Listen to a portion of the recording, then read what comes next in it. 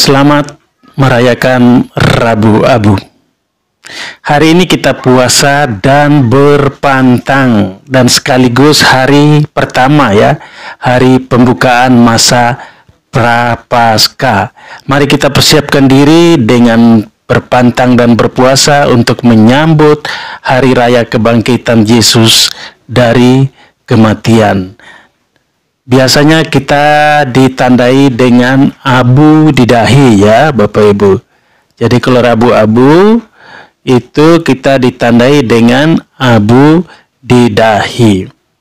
Dan bacaan hari ini dari Injil Matius bab 6 ayat 1 sampai 6 dilanjutkan bab 16 sampai 18 tidak disinggung sedikit pun tentang Rabu Abu ya.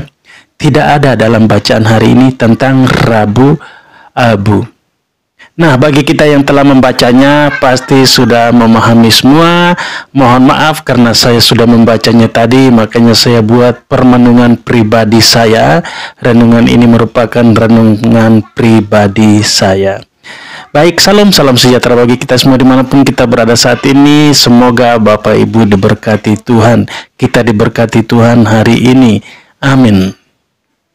Saya bertanya untuk diri saya sendiri, pesan apakah yang paling berkesan ketika Yesus berkhotbah di bukit? Sesuai dengan Injil hari ini Bapak Ibu ya. Ketika Yesus berkhotbah di bukit.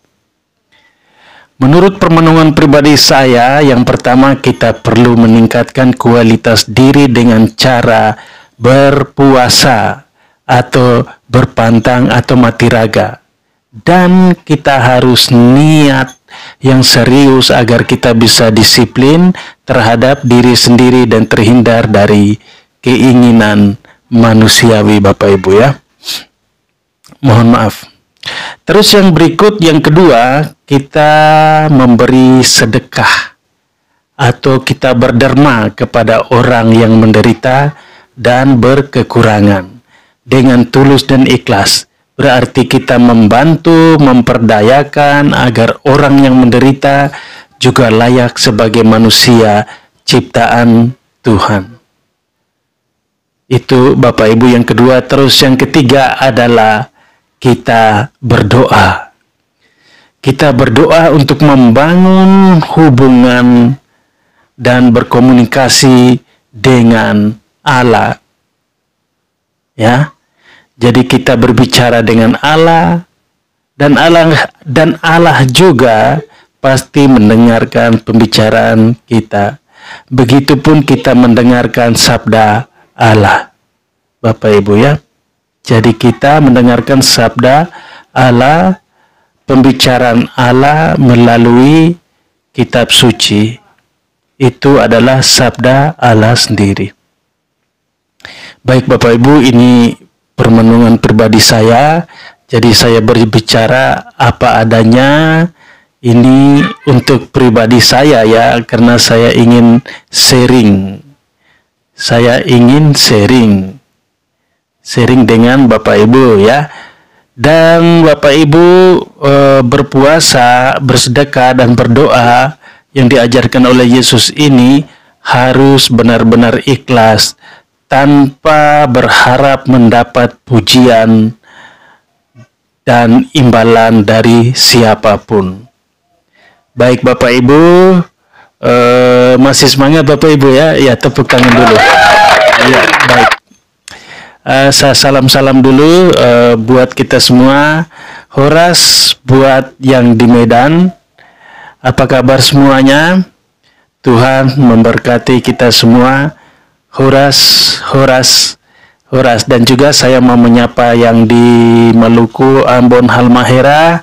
Salam, apa kabar semuanya?